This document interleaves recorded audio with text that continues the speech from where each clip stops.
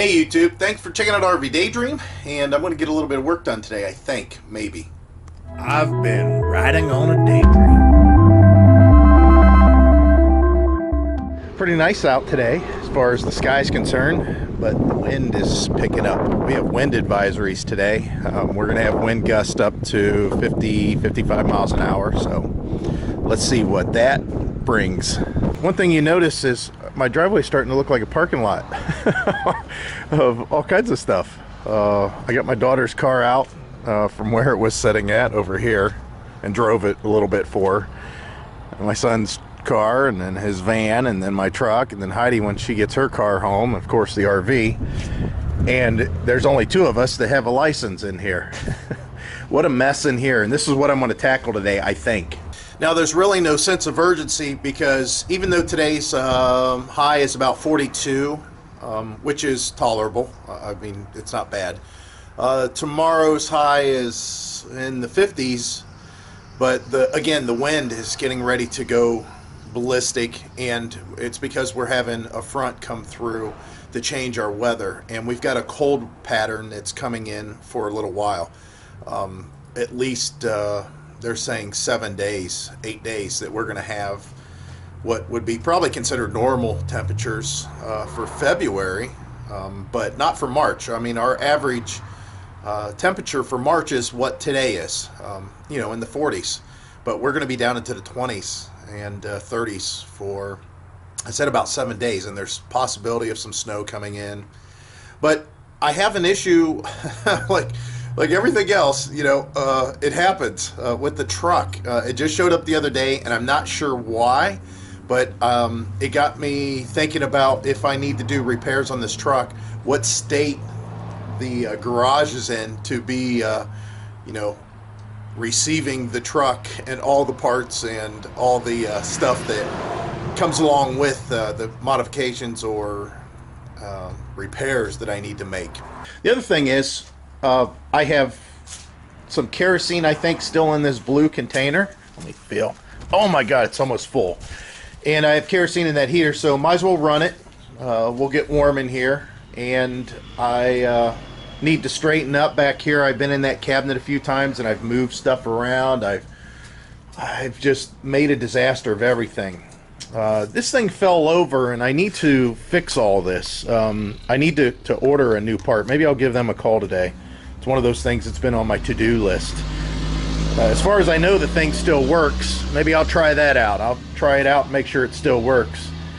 But I didn't have it wired up and it fell over on the winch. And that goes in the back of the truck, and it may go into the back of this truck if uh, I want to use it to pull the water tote. That one there, um, the Blue Boy, fully loaded. I'm sure that thing weighs quite a bit and if we're out boondocking, I want to be able to uh, get that in the bed of my truck so I can go dump it.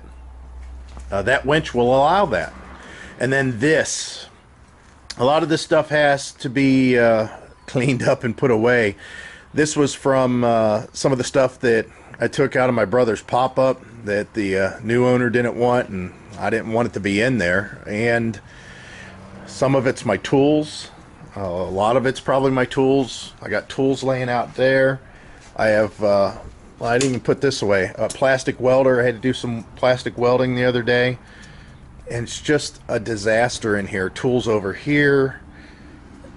Stuff here. I mean, it's just really bad. And then, of course, this oven, I had intentions of cleaning it up and then putting it on a Craigslist. The uh, cover, I think I might retighten again today, just just to make sure, just to get it close to what I think it should be um, for this wind that's coming again. So what's going on with the truck? Well, hopefully it doesn't repeat the noise that it did.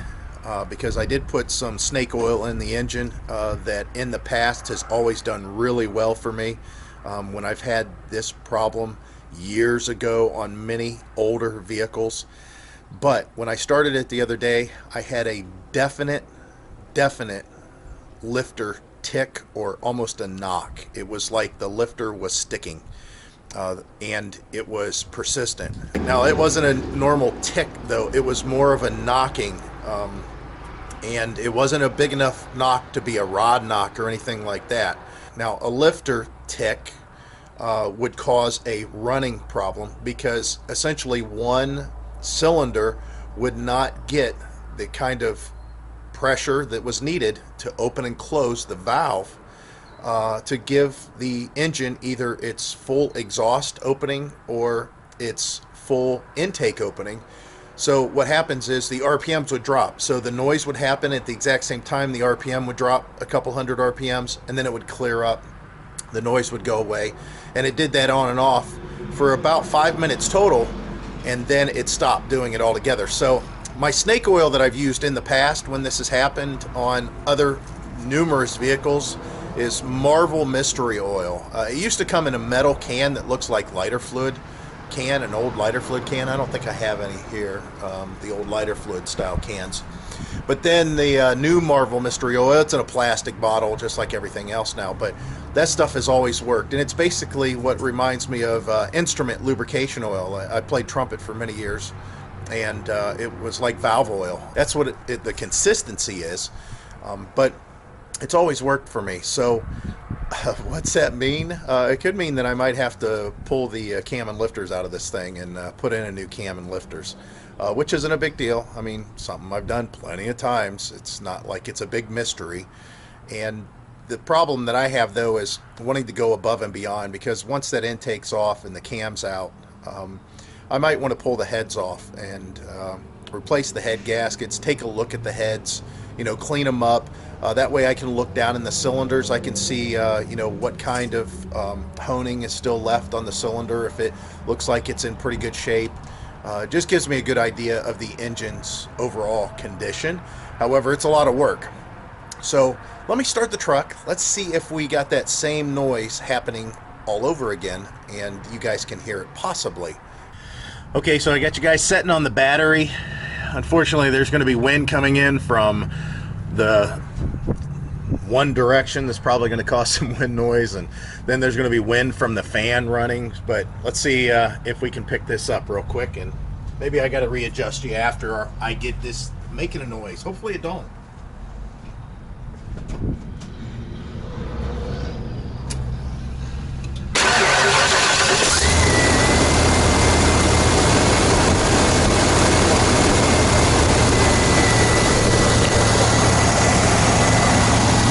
far so good.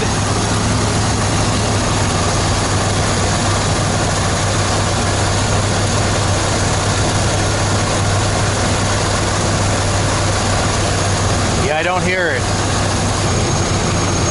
Yeah, it definitely doesn't make the noise that it did. I do have an exhaust leak starting up though on this side.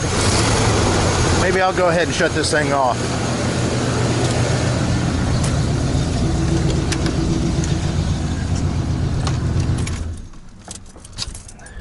Yeah, I forgot about that. There's a little bit of an exhaust leak on this uh, passenger side. So with it not too hot, I can reach in there and uh, make sure all the bolts are snugged up. Uh, I'm not sure which one it would be though. Uh, it's not real bad and it does go away almost immediately. Uh, that has me thinking about getting into some different exhaust headers. I think I mentioned that in a previous video. Uh, the thing is, you know, this truck needs to be in really good shape for us to be able to tow this RV everywhere we want to go. And if we get another RV, we talked about it before. We don't know if we're going to keep this truck or if we're going to get into something different. Right now, though, this is ideal. And man, have I invested a lot of time and effort into it. It's a really good truck. And I really like driving it. Uh, there's a lot of people that give me compliments on it, which you know, it's a nice looking truck, but I had nothing to do with the way it looks. you know, I just bought it that way. But I'm happy that people enjoy seeing it, um, and I enjoy driving it. Um, I would like to do some things to it, though. But as I mentioned, uh, you know, even if I dip it in gold, it doesn't make it worth that much more money. Uh, so there's modifications that uh, we thought about doing to make the towing a little bit nicer, and then we talked about making some uh, pretty significant repairs to it, uh, such as taking and putting a remanufactured long block in it, uh, basically pulling the engine out and uh, spending a couple thousand dollars and putting the uh, um, you know, a remanufactured long block if I could find somebody reputable enough. But this engine runs so well that, you know, other than it having a problem with compression or something like that, um, I would have to check all the compression at, at all the cylinders to make sure that they are up to snuff and that they are acceptable. And if they are, then that means the basic, you know, lower short block is in pretty good shape. Um, but there's still things that could be, you know, attended to, such as uh, replacing and putting a new oil pump on it. Um, I would assume that the, uh, you know, all the rod bearings and main bearings are okay. Um, you just got to think about how stressful the engine's going to, you know, feel um, and how much you're going to put to it whenever you're towing, you know, up a grade and high elevations. Uh, it, you know, it, everything can be done, and these trucks have been doing it for many years. Uh, this engine's been, you know, powering motorhomes for many years, so it's not such a big deal. But I would just like to make sure that I address it. You know, uh, everything that I can think of, and right now I know that the lower half is, is sounds good, runs good, but it does have 100 and, you know, 60 some thousand miles on it, 68,000, 69,000 miles on it. That's a lot of miles for a gas engine. Uh, you know, 200,000 is, you know, obtainable, but still, it's it's getting on that upper range, that upper level of what's acceptable. We also talked about pulling the transmission out and go ahead and putting in a new rebuilt transmission with a different torque converter, something that's a little bit more geared for towing than just the stock transmission. Uh, we also talked about putting a uh, under overdrive unit on there to uh, give it eight speeds instead of the four speeds that it has. Um, all those things cost money. All those things would be, you know, noticed by us. We would use it, um, but then we get back to, you know, the, the common sense thing of, hey, let's just run it and if there's a problem, fix the problem. So right now, uh, there might be a problem with the uh, lifters. I don't know that for sure. The only way I'm going to know for sure is, is leave this thing set for uh, about a week and a half, and then I'm going to fire it up and see if I can get that noise again. The one thing that I will do, other than uh, tightening up this uh, leaky header, uh, whenever it gets a little bit nicer weather out, closer to May, um, I will put a, a catback exhaust system on it uh, than something other than what's factory, you know, the stock one in there. So uh, something to look forward to. Um, I'll show you guys what that sounds like a before and after type thing. But I've talked long enough. Uh, we're a little bit stir crazy, or I am sitting inside the house. I've got my website thing still going on. They're going to give me a call today, and we got to go over some uh, changes. And they're going to show me what they've done so far, and uh, the whole process is moving forward uh, to where we can make that site live. Because our old site I haven't updated since I don't know November. I mean, it, haven't even touched it. Right now, I got to run over to the parts store and buy some gloves. Um, luckily, I've got the parts store close to me. Now, you guys know, of course, Heidi. She manages Advance Auto Parts, but that's a CarQuest, and Advance Auto Parts owns CarQuest, and they own all their warehouses so it's kind of nice. I get a discount when I go over there, um, and a lot of the stuff that I need, uh, they you know, they they should have most of the small stuff. If not, Heidi can bring home whatever um, that I may need. But yeah, it's it's kind of nice. I can walk over there and get most of the things. All right, so I'm gonna get busy cleaning here, and uh, we'll pick this up in a little bit.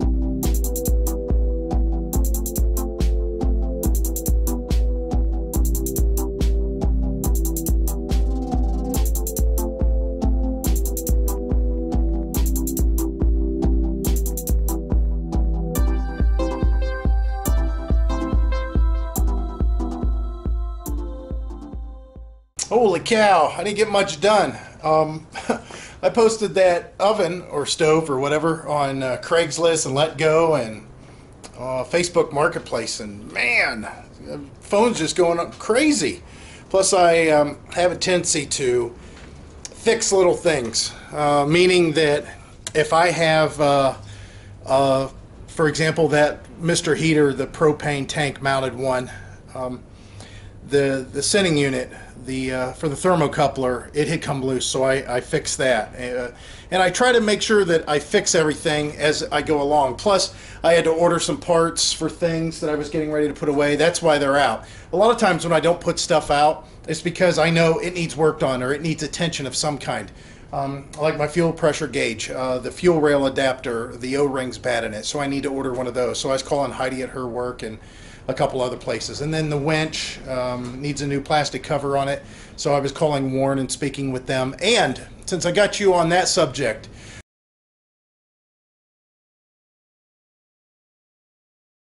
whenever you buy any winch parts for everybody out there that might have a Warn winch, whether it be on the front of your ATV or on anything for that matter, anything Warn related, don't do gowarn.com. Don't do them. Uh, those guys are assholes out there. And I hope somebody that works there that makes a difference is watching this video because I've never heard of anybody who has advertised like their company has that they sell parts. They sell winch parts. If you type a Google search in for Warn winch part, they're going to come up in the top five good for their SEO guys, good for their marketing guys, good for the the you know the people that have set up their website. So whenever somebody's looking up parts for Warn winches, that their site comes up. But bad on their whole outlook and the way that they handle shit. I call them up and say, "Hey, I have a Warn winch and I need a part." And he says, "What's the part number?" So I give him the part number of the winch, and he says, "That's the, that's the winch." I said, "Yeah, that's the winch that I need the part for." He says, No, I need the part number. I don't have the ability to look up those things.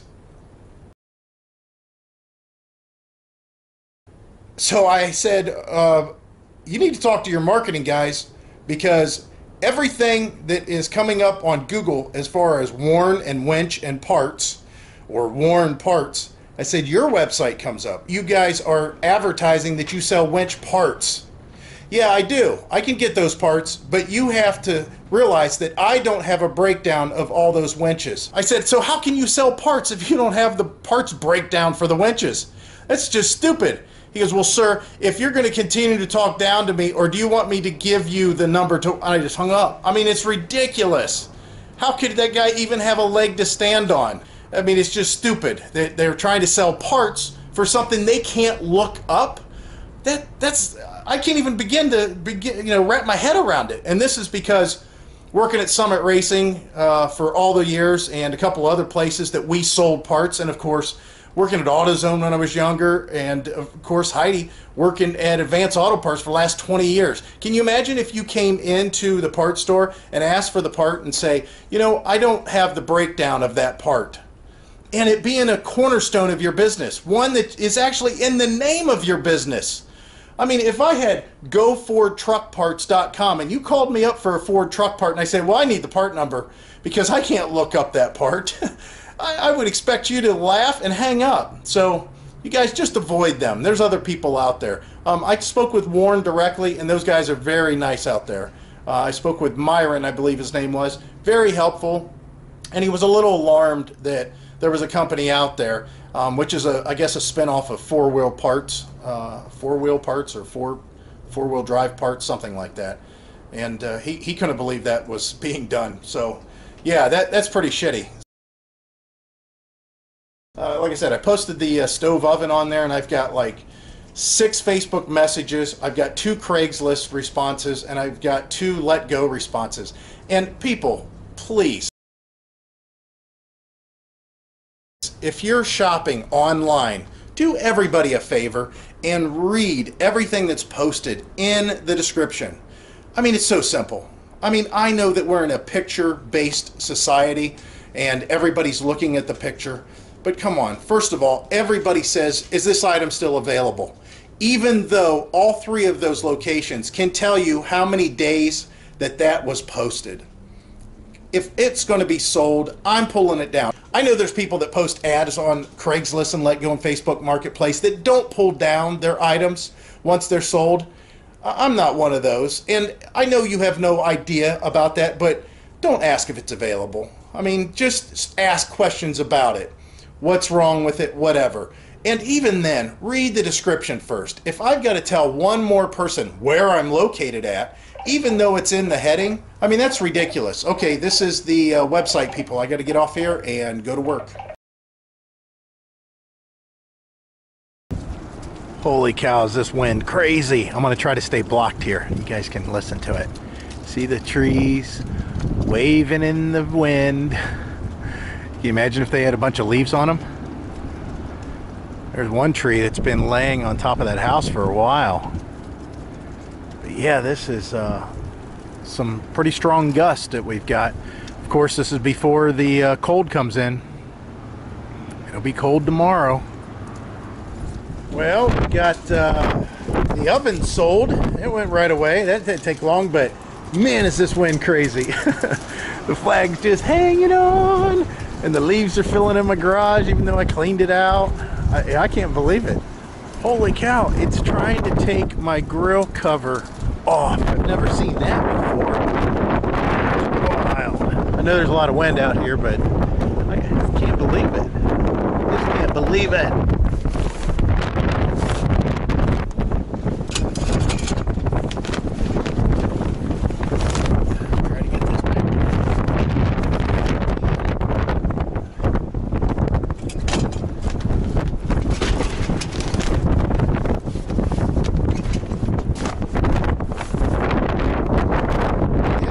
Pretty wild. I've never seen it do that before. Look, we got flowers that are trying to bloom. Poor little flowers. Little do they know that a storm's coming and it's going to cover them up with snow. oh well. But yeah, I'm kind of in a dead spot here for the wind. Man, I can't believe it. I mean, I've seen wind like this before, but it's uh doesn't seem that it's quite the season for this. So I have my plastic welder out again. I hate plastic welding. It never works the way that you think it does. So if you're thinking about buying one, eh, maybe not. it's uh, it makes it ugly. I mean, I could clean this up and you know do things with it. JB Weld, whatever, make it look a lot nicer. Um, I'm missing some pieces though, so I'm gonna go see if I can find those pieces. If not, I'll just kind of doctor it up and make it look a little bit better. Um, this goes in the back of the truck, and then of course this co covers everything. And uh, I did a video on this on my other channel. Um, this is kind of a heavy duty rail that's on here. I mean, it's it's heavy. It's it's not light at all. And uh, of course, mounted the winch, and then that way, um, whenever I winch stuff up in the back of the truck, you know, it'll pull. So they say 1,700 pounds. Well, I'll tell you that I have completely bottomed this thing out to where the uh, relays have shut off because it's been too much of a load. And I've pulled some heavy stuff. I mean, really heavy stuff. That shed that we had at the side of the house, I pulled that up on a guy's trailer. I don't know if I ever did a video of that for you guys. I, I believe that I did, but we did get it up on his truck, and uh, this little winch did it. Mounted on the bed rails. Can you believe that? So that's what I'm going to finish up and uh, for the most part everything's kind of straightened up not this this is never straightened up it needs more attention than I can give it right now but I was glad that we sold the uh, stove uh, Heidi was happy uh, the guys that got it were real happy he said it's for his man cave uh, apparently he has uh, a man cave down in his basement and he likes to cook he said, This is going down in my basement. He says, So I can hang out and not have to run up and down stairs every time I want something which I understand that entirely. So this is me closing out the video. And as always, guys, I hope to see you out there. Bye.